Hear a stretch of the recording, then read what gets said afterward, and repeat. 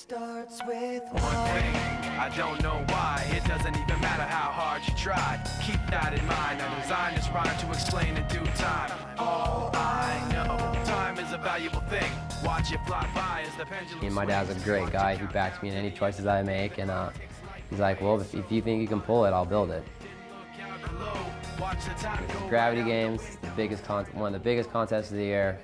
Either I'm gonna stomp this thing and everyone's gonna see me pull a flip, or I'll crash my brains out and everyone will still see it. I mean, it'll be worthwhile, you know. And, and it's, it's something I gotta do for myself. So got so far, end, to to.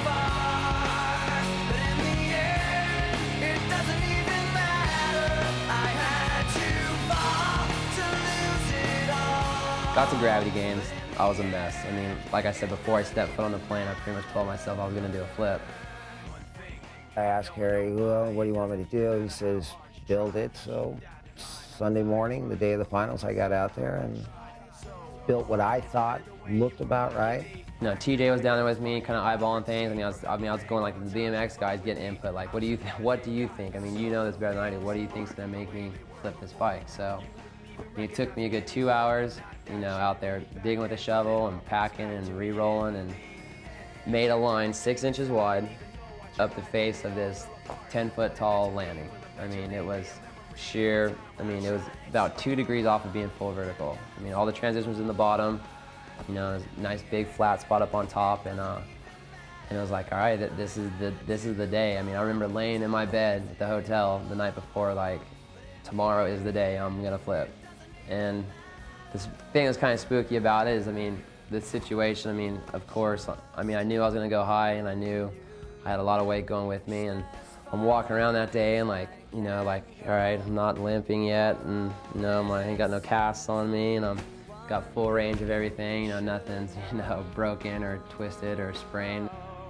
I've put my trust in you, pushed as far as I remember right before the final round started, we had like a little intermission, like course prep. I walked down there and I was staring at the face of this jump, and my dad walked down with me, and uh, you know, he just kind of looked over and was like, "All right, I mean, you know, you can back out. You don't have to do this." And I was just kind of like, "No, I, I really got to do this." Let me know when you're ready, Carey. All right. I didn't want my bike. And I remember just looking at that thing and just kind of walking back up the hill. And it's like, all right, here we go. So got on my bike. I was like the fourth fourth guy out, and uh, pretty much life or death. I was if I pull it. I've honestly, I've never, ever been that nervous, that tense, that excited, that scared at one time on a bike in my life. I mean, that that was the point that was like definitely like the most intense point of, of my life. Like I've never had like those those many emotions going at one time.